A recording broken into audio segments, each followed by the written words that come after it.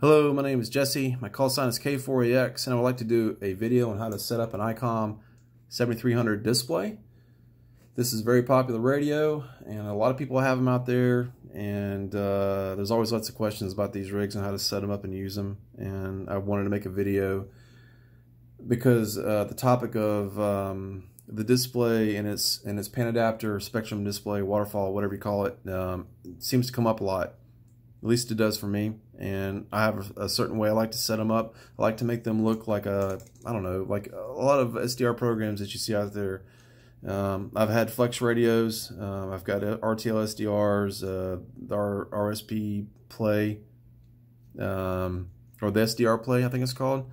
Um, AirSpy, you know, stuff like that. And the, the programs that those run on, like SDR Sharp or HD SDR, they all have a certain look on how the pan adapter, the spectrum looks. And um, by default, the Icom doesn't really look like that. So let's go to the band. It's got some activity, probably 10. I'm sorry, uh, 80 meters because it's uh, 10 o'clock at night, over 10 o'clock at night now. Let's go up in the voice portion of the band so we can see what's going on up here. Let's see. And we're going to show the scope. And by default, this is what the scope looks like. Looks like we're tuned into somebody there. Turn that down. And we're going to bring the reference level up. Turn the attenuator on. All right.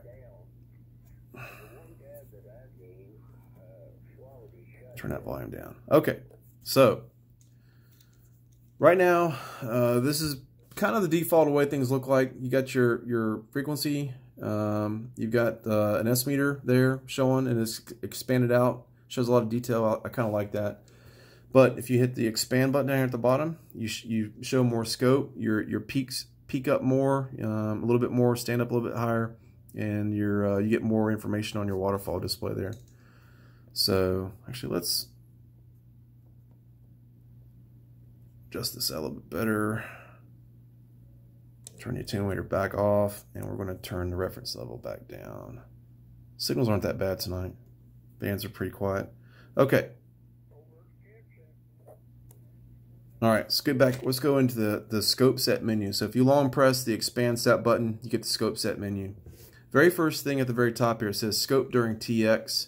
Um, if you leave this on and when you transmit it, it's going to show your transmitted spectrum, your bandwidth, um, and your, your spectrum.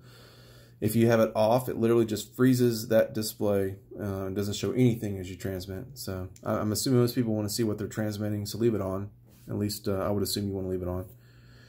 All right, max hold. Um, again, it's right now it's at 10 seconds. You've got off 10 seconds or on.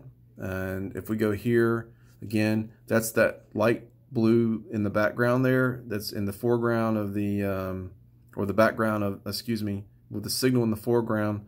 And as that signal peaks it shows a max hold in the background of uh, that light blue color. And over time that will fade and it kind of average over 10 seconds. If you go into the menu and you set it to on that that it's just going to show a continuous max peak, max peak forever and it's never going to average out and it will just kind of fill up over time. If you have it off it just kind of goes away. So let's go back in now you see it's off. All right. Center type display, filter center, carrier point center, carrier point center with absolute frequency. So right now we're at the filter center. And as these folks are talking, they're on um, 3.865 megahertz. We're tuned into them. Filter bandwidth right now is at 3K wide or 300, 3000 hertz wide. If you set the filter center, um, the, the, this marker to filter center, it's in the filter, it's in the center of your fil receive filter, which is 3K wide. So we're at the 1500 hertz mark of the receive filter. We're on lower sideband. We're on this frequency. The marker is not showing that we're on 3.865 megahertz. It's showing that we're at the center of the filter, uh, 1.5 kcs away from the actual frequency. The frequency, uh, the, the carrier point's over here. That's the actual frequency that your your rig, your rig is really on. So we're going to go there and we're going to show carrier point center and it shifts over. We're still on the same frequency. We haven't changed frequency, but now the, the display is reflected to show that we're uh, on this frequency. This is our carrier point. this is lower sideband. If we were if they were on upper sideband talking, they would their transmissions would be showing over here in your receive. So um, carrier point, lower sideband, these are the lower frequencies, and as you get further away from the carrier point, you get into the higher frequencies and your, your higher audio range that you're hearing. So let's go back into the menu. Center point type display again. Now we're going to show absolute frequency, and then at the bottom of the screen, instead of it showing uh, plus minus whatever KCs, now we have actual frequency showing at the bottom of the screen. So you can see where what actual frequency somebody's on as opposed to how many KCs away from you they are. Which is kind of nice, I guess. Let's go back into the menu. Um, we're going to skip this setting for now, but basically it kind of mirrors the center type display frequency. So like when you scroll up and down the band, instead of your marker going to the center of a, um, of a transmission, it's going to the carrier point.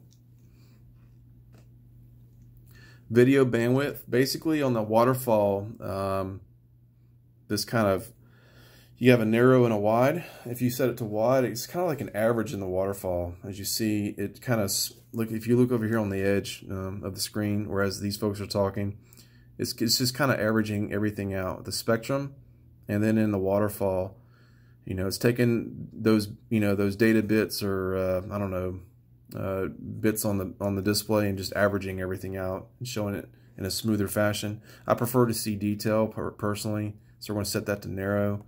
As you see, you see a lot more detail, and also in the spectrum, same thing.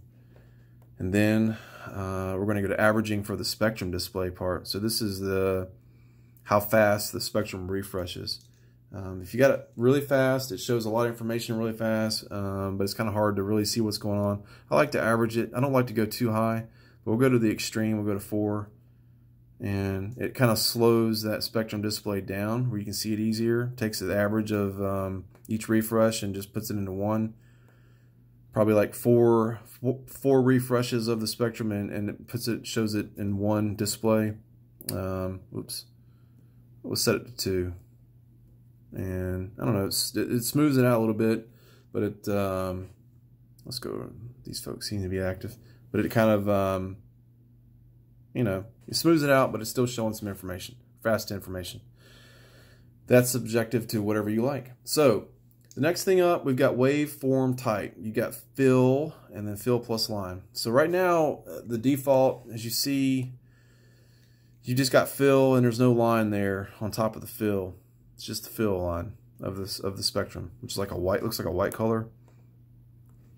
We're going to change it to line, fill plus line, and that will give us the fill. And if you, it's kind of, it may be hard to see in this video. Again, I'm using my phone. It's propped up. Hopefully, I won't knock it over.